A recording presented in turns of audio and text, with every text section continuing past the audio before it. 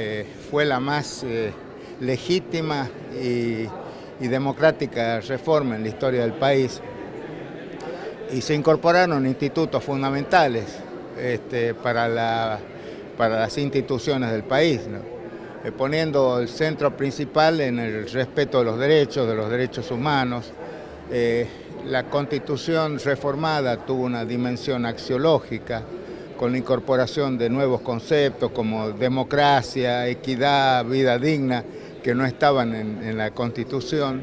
Se incorporaron este, algunos eh, remedios procesales como eh, el habeas corpus, el habeas data y la, acción de amparo que se le dio jerarquía constitucional.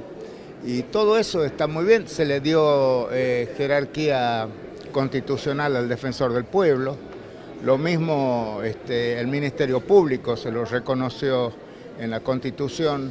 Bueno, después hubo otro tipo de reformas como la incorporación del jefe de gabinete, en fin, todas esas reformas, algunas tuvieron más suerte que otras en, la puesta en práctica, pero de todos modos están ahí en la Constitución y lo que mejor podemos hacer es tratar de cumplirlas. ¿Qué, materia pendiente queda desde el 94 para hoy, eh, doctor, desde aquella reforma?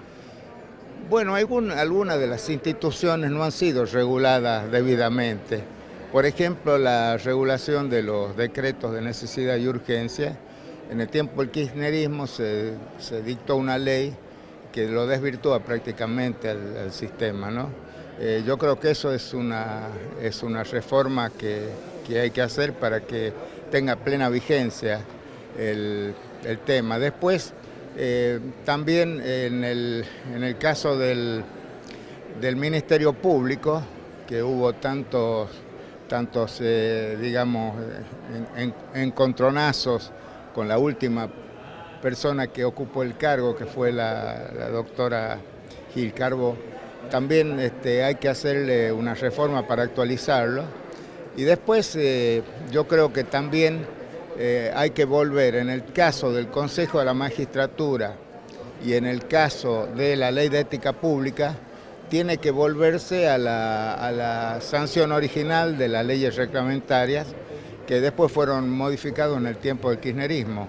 Y, ¿Esas materias pendientes, doctor, eh, son decisiones políticas nada más? Sí, sí, en el fondo son decisiones políticas, las tiene que tomar el, Congreso, pero son decisiones políticas. ¿no? En definitiva, el Congreso es una casa política.